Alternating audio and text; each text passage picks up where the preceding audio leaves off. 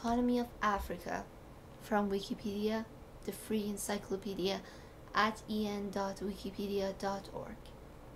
The economy of Africa consists of trade, industry, and resources of the people of Africa. As of 2006, approximately 922 million people were living in 54 different countries. Africa is the world's poorest inhabited continent. Though parts of the continent have made significant gains over the last few years, of the 175 countries reviewed in the United Nations Human Development Report 2003, 25 African nations rank lowest among nations of the world. This is partly due to its turbulent history. The decolonization of Africa was fraught with instability aggravated by the Cold War conflict. Since mid-20th century, the Cold War and increased corruption and despotism have also contributed to Africa's poor economy. The biggest contrast in terms of development has been between Africa and the economy of Asia. The African Economic Outlook report specifically mentions that Africa's trade with China has multiplied by 10 since 2001, reaching over 100 billion US dollars in 2008. The economies of China and India have grown rapidly, while Latin America has also experienced moderate growth.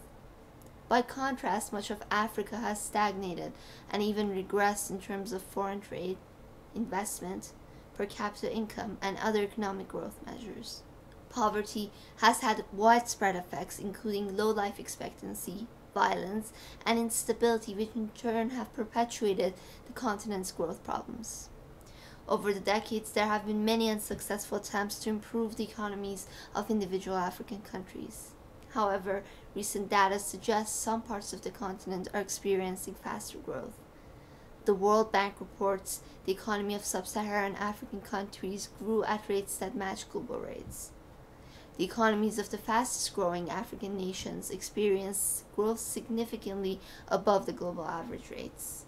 The top nations in 2007 include Mauritania with growth of 19.8%, Angola at 17.6%, Sudan at 9.6%, Mozambique at 7.9%, and Malawi at 7.8%. Many international agencies are gaining increasing interest in emerging African economies, especially as Africa continues to maintain high economic growth despite current global economic recession. This sound file and all text in the article are licensed under the GNU Free Documentation License, available at www.gnu.org slash copyleft slash fdl.html.